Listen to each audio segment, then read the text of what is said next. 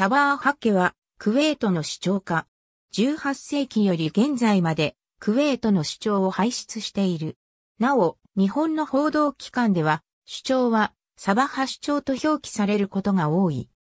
サバーハッケはバーレーンのハリーファ家同様にアラブのアナザ部族の一種部族ウトゥーブの1674年頃にナジュド地方からカタール半島に移住したジャミール部族に属する家系である。18世紀前半にサバーハ家の始祖、アブー・サルマーン・サバーハ・ビンジャービルが、いとことの関係悪化をきっかけにして、クウェートへ移住し、同地の支配権を得た。シャリーフでもなく宗教者でもなかったサバーハ一世がどのような過程で権力を得たのか、はっきりとは分かっていないが、武力を背景にしたものではなく、ウトゥーブに属するジャミール部族ではない他の部族の合意を得たものであったようである。18世紀にオスマン帝国との交渉役として、クウェート商人の御選でサバーハ家が選ばれ、主張となった。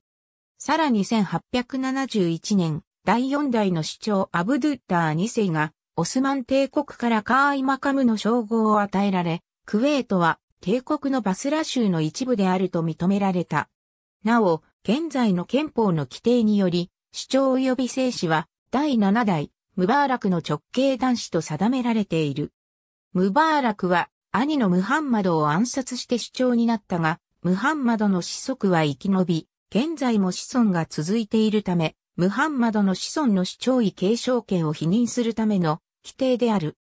ムバーラクの子息、第8代、ジャービルの子孫、ジャービル家と第9代サーリムの子孫、サーリム家の子孫から、ほぼ交互に主張を輩出しているが、近年、サーリム家の衰えが激しく、ジャービル家に首長、聖子、首相など重要ポストのほとんどを抑えられている。ありがとうございます。